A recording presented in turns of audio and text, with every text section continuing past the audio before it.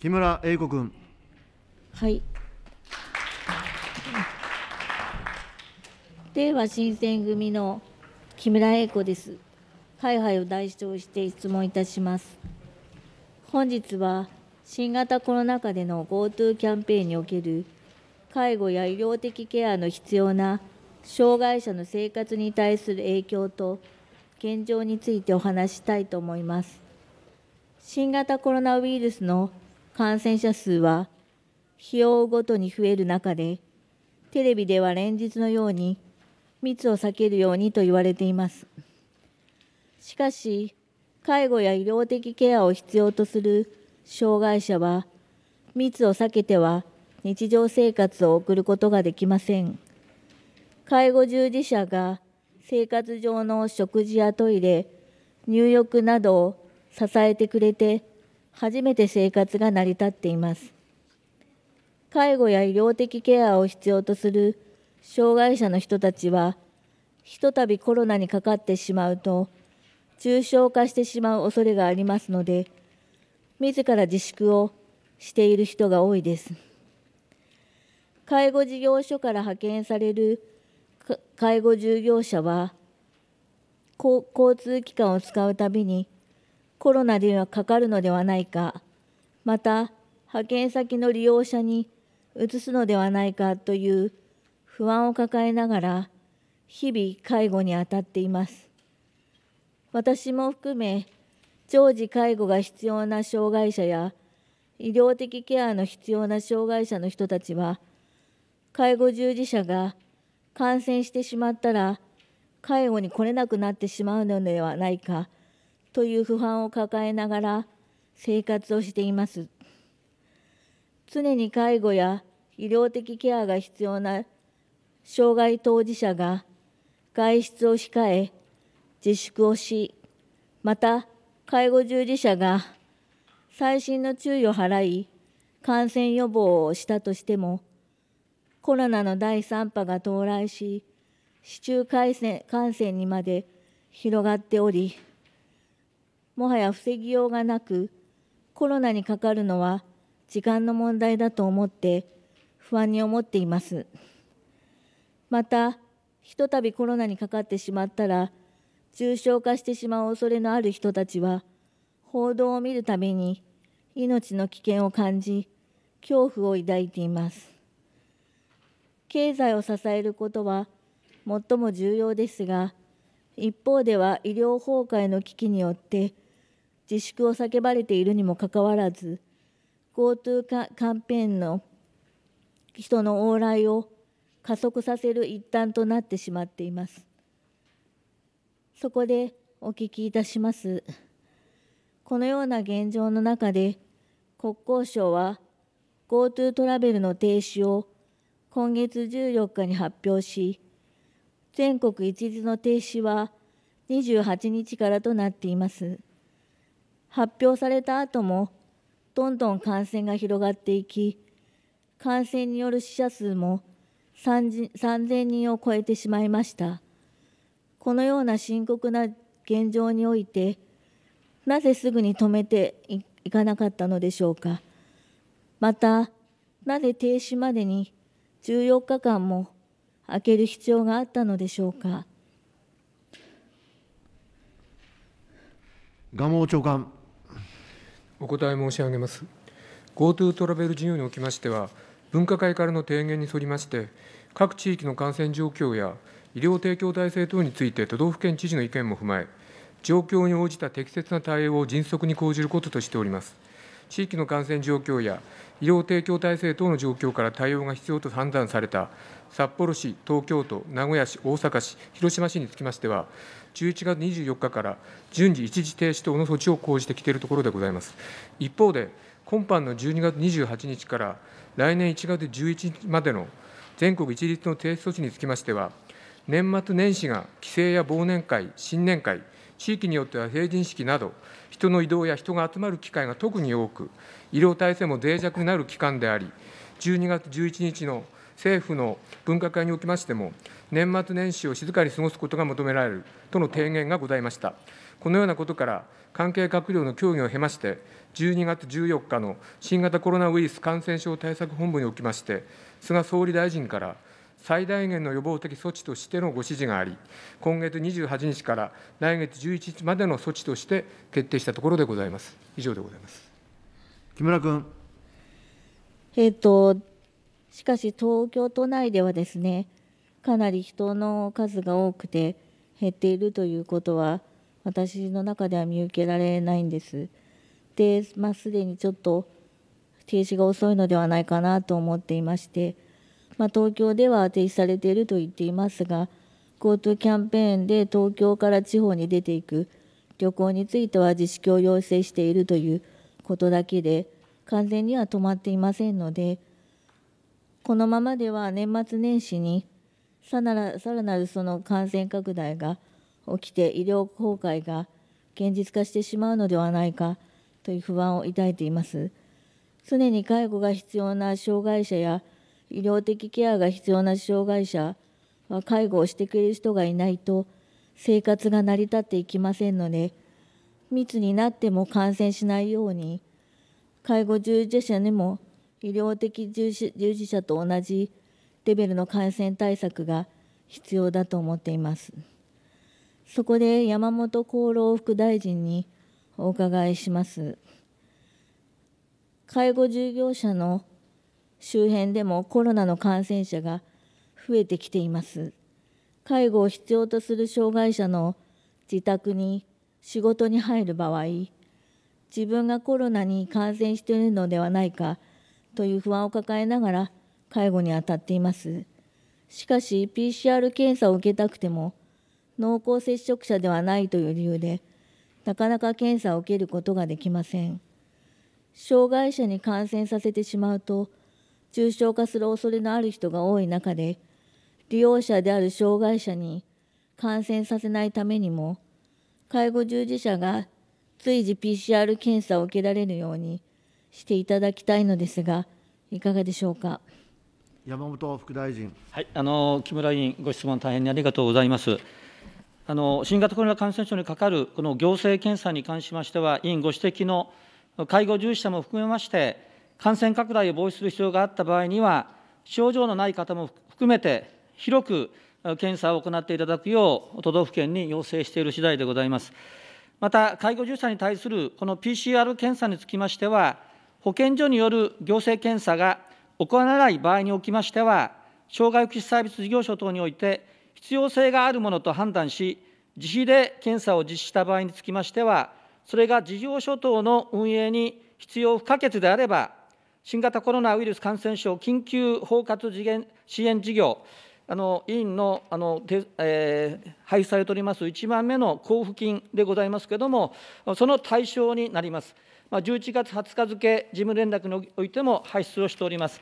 引き続き、感染症の影響がある中でも、障害福祉サービスが適切に提供されるように、現場の状況を踏まえながら、必要な支援を行ってまいりたいと思います。木村君。ありがとうございます。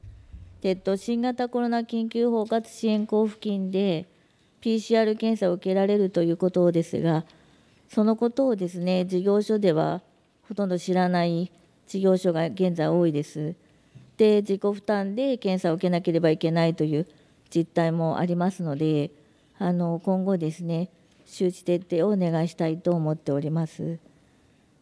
えー、次に、障害者のコロナ禍においての入院時の介護派遣について質問いたします。長時介護の必要な障害者は、病気になったとき、日頃から接している慣れた介護従事者の献身的な支援がなければ、病気を治すことはできません。なぜなら一人一人の障害によって介護の仕方も違い、介護の仕方を間違えれば骨折や体位交換の際に呼吸困難になってしまう人もいます。普通の風邪をひいただけでも重症化してしまう人がいる中で、今回の新型コロナは治療薬もワクチンもないという現状において、今までにない恐怖を感じている障害者の方が多いと思います。日に日にコロナの感染者が増えている中で、医療も逼迫し、看護師の人手も足りていない状況では、長時介護が必要な障害者や、医療的ケアが必要な障害者が入院した場合、たくさんの患者さんの対応で大変な中、看護師が看護の合間に複雑な介護やコミュニケーション支援を必要とする障害者の介護までするのはとても難しいと思います。さらに入院時の介護の派遣については厚労省から平成28年6月28日付で特別なコミュニケーション支援が必要な障害者の入院における支援についての通知が出されていますが、その通知の存在を知らない医療機関も多く、介護の必要な障害者が入院する際に介護者介護者をつけることを要望しても医療機関に断られて困っているという人たちがいます。さらに自治体によっては、この通知が出されているにもかかわらず、重度訪問介護による入院時の派遣を認められず、介護者をつけることができないために、水分補給や体位交換がこまめにできず、障害の体を痛め、病気を治すどころか、命の危機を感じて退院するしかなかった人もいます。このような現状は未だに改善されていません。また、このコロナ禍においては、感染防止が強化されて、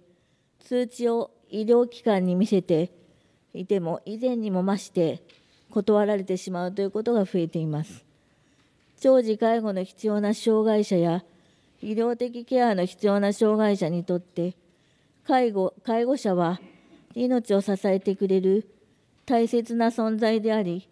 入院時においても付き付き添いをしてもらわなければ、障害の体や命を保つことはできません。入院時における特別なコミュニケーション支援が必要な障害者の入院における支援についての通知は私たちにとって入院した時の欠かすことのできない介護の保障です。